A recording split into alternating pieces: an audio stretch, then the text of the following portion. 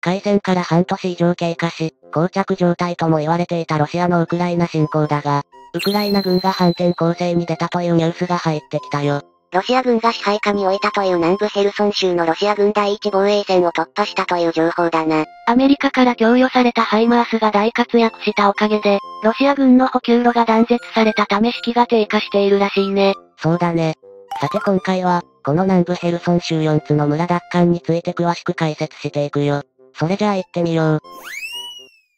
2022年8月29日、ウクライナ軍の報道官が新しい情報を発表しているよ。ロシア軍に占領されていた南部地域の奪還に向け、ウクライナ軍が本格的に反攻を開始したんだって。ウクライナのメディアによると、ヘルソン州にロシア軍が敷いていた、第一防衛線を突破したと報じ、AFP 通信はウクライナ軍が計画的に強力な攻撃を行い、ロシア軍の防空システムなどを破壊したというヘルソン州知事顧問の話を伝えているみたい。アメリカの CNN はウクライナ軍が夜間に作戦を開始し、ロシア軍陣地や後方へ大規模な砲撃を行い、ヘルソン市近郊で4つの村を奪還した。ウクライナ軍の主要目標は州都ヘルソン市奪還であることを、ウクライナ軍の情報筋が明かしたと報道しているよ。CNN が伝えた情報筋によると、ウクライナ軍が奪還した村の一つがブラブディン村で、この村にいた新ロシア派武装勢力の自称ドネツク人民共和国 DNR、ルガンスク人民共和国 LNR の正規軍という歩兵部隊を攻撃したんだけど、歩兵部隊は敗走し、それを追うようにロシア軍部隊も逃げたことを明らかにしているんだ。ドニプロ川西岸に展開しているロシア軍や東部ドンバス地方の新ロシア派武装勢力などの戦意は、ウクライナ軍がハイマースなどの攻撃で補給路を遮断したことにより、著しく低下しているのではないかと推測されているな。さらにこの情報筋の言うところでは、ウクライナ軍は4つの村を解放し、ロシア軍の防衛線を3カ所で突破したとも言っているから、ウクライナメディアが報じたロシアの第一防衛線を突破したという情報の裏付けとなっているぜ。また、ロシア軍の戦死者や捕虜となった兵士が多数出ているし、多くのロシア軍車両を破壊したとも述べているみたいだね。こういったウクライナ軍が南部で反攻に転じたという報道を受けたロシア国防省は、ゼレンスキー大統領に命令されたウクライナ軍が南部のヘルソン州や、ムイコラーイ州で攻勢をかけようとしたが、ロシア軍の防衛によって大損害を出したと発信し、ウクライナ軍の戦車26両と装甲車32両を破壊、スホイ25攻撃機2機を撃墜。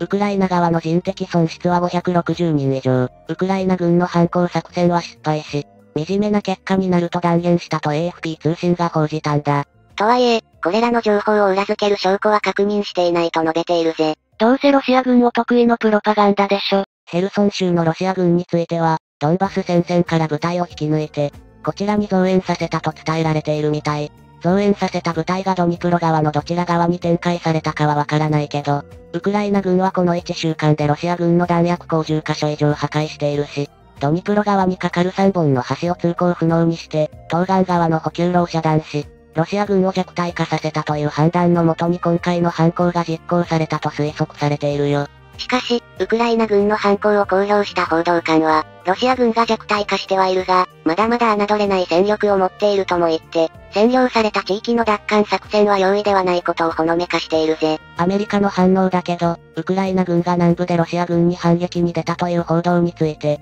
アメリカ国家安全保障会議のカービー戦略広報担当調整官の発言を CNN が報じているね。曰く、ホワイトハウスではこういったあらゆる報道を認識はしているが、ウクライナの特定の軍事作戦に関して、それ以上のコメントは差し控えると発言しているよ。ウクライナが反撃に転じた事実について、言葉を濁しているということになるのかな。ウクライナ国境沿い27万の大軍を展開させていたロシア軍が、ウクライナ国内への侵攻を開始したのは2022年2月24日のことだったよね。これは近代史に残る日付になるだろうな。ロシアの侵攻以来、受け身の戦いを強いられてきたウクライナ軍だが、ここに来て反攻に転じることができたのは、アメリカや、北大西洋条約機構 NATO 加盟国からの最新鋭兵器の供与が大きな要因と思われるぜ。西側諸国は様々な兵器を供与しているけど、中でも有名なのは、M142 高機動ロケット砲システムハイマースと多連装ロケット砲システム M270 じゃないかな。これらのシステムから発射される 70km という長射程で、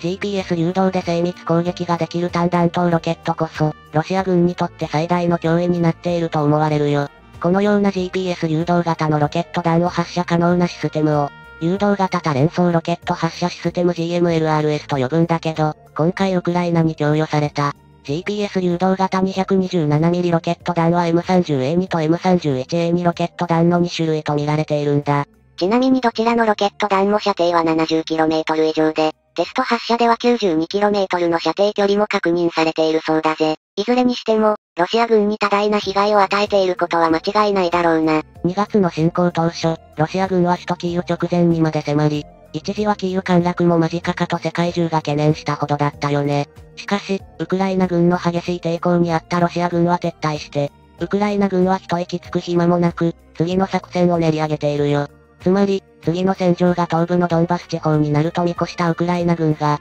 東部一帯に広がる穀物畑のような平坦な地形に残壕陣地が築かれた場所での野戦と予測したってわけ。そして遠距離砲撃を行う砲兵火力が必要になると判断。ロシア軍の榴弾砲や多連装ロケット砲の数に対して、圧倒的に少ないウクライナ軍の状況を踏まえた上で4月13日、ゼレンスキー大統領が演説を行っているよ。西側諸国へ支援を依頼する兵器リストの筆頭に榴弾砲と多連装ロケット発射機を載せたんだ。実際、キーウ攻略に失敗した部隊を再編成し、ロシア軍が東部戦線に投入して攻勢を強めたことによってこの予想は的中したことになるな。主戦場になった東部ドンバス地方ルハンシク州及びドネツク州では壮絶な砲撃戦が展開され、榴弾砲と多連装ロケット発射機では勝っているロシア軍が、優勢となり、徐々に支配地域が広げられていったぜ。ゼレンスキー大統領は再び、西側諸国へ榴弾砲やロケット砲の供与を懇願するほど切迫していたってことだね。ゼレンスキー大統領の願いが叶い、やっとウクライナに供与されたハイマースや、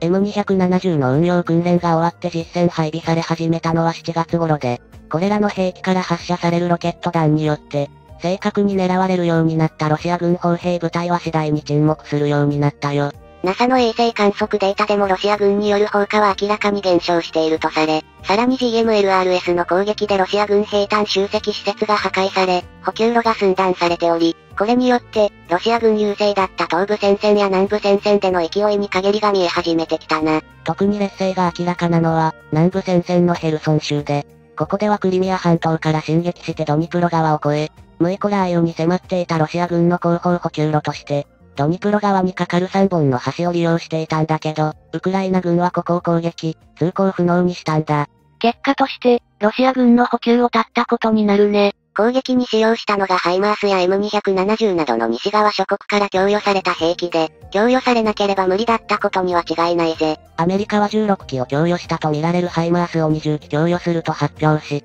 ロシア軍の S300 や S400 などの防空ミサイルシステムの発するレーダー波を、キャッチして攻撃する対レーダー用高速対副射源ミサイル AGM88 の供与も決定したんだって。この AGM88 は空対地ミサイルだけど、アメリカはウクライナ空軍のミグ29戦闘機に搭載するという説明があり、これは前代未聞のことで、多くの人が驚いたみたい。つまり、アメリカのミサイルをロシア旧ソ連製戦闘機で運用するということになるな。いくら自律的に敵のレーダー波を探知するので、誘導は不要とはいえ、ごく短期間でミグ29の火器管制装置によって、AGM88 を発射させようとすることに、軍事専門家が驚いたというわけだぜ。ロシア軍の武器の欠乏も言われているけど、ドローンなどの新たな製造が追いつかなくて不足しているロシア軍に、イランがドローンを数百機引き渡すという発表があったよね。アメリカからそれに対抗できる新兵器を供与されることも明らかになっているぜ。アメリカの対ドローン兵器は、ヴァンパイアと呼ばれているもので、